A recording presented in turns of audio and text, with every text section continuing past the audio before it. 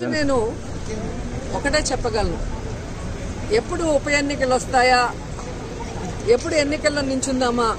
ఎప్పుడు అధికారాన్ని కైవసం చేసుకుందామా అన్న రాజకీయ లబ్ధి కోసమే ఈరోజు ప్రతిపక్ష పార్టీలన్నీ కూడా ఈ రాష్ట్రంలో ప్రయత్నం చేస్తున్నాయి అనేది స్పష్టంగా అర్థమవుతుంది. ఇక్కడే కాదు తెలంగాణలో కూడా అదే పరిస్థితి.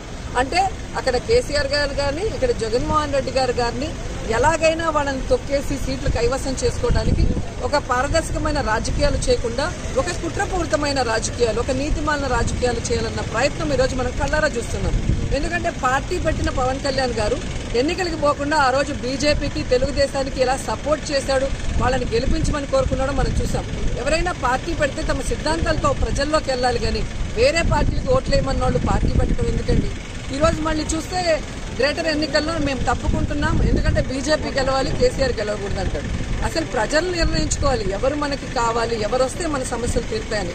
ఈరోజు అక్కడ వదిలేసినందుకు తిరుపతిలో సీటు కావాలని ఢిల్లీలో పోయి కూర్చున్నాడు పవన్ కళ్యాణ్ అంటే ఒకసారి మనం అర్థం చేసుకోవాలి. వీళ్ళ క్యారెక్టర్స్ ఏంటి ప్రజల పట్ల వీళ్ళకున్న చిత్తశుద్ధి ఏంటి అలాగే తెలంగాణలో బీజేపీకి కొంచెం పట్టు ఉందేమో కానీ ఆంధ్రాలో ఎప్పుడు కూడా పట్టు లేదు.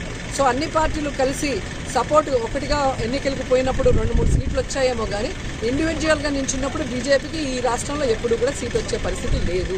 అండ్ ముఖ్యంగా తిరుపతిలో మీరు చూస్తే ఎంపీగా వైఎస్ఆర్సీపీ గెలిచిన వ్యక్తి మరణించడం వల్ల వచ్చిన ఎన్నిక ఇది.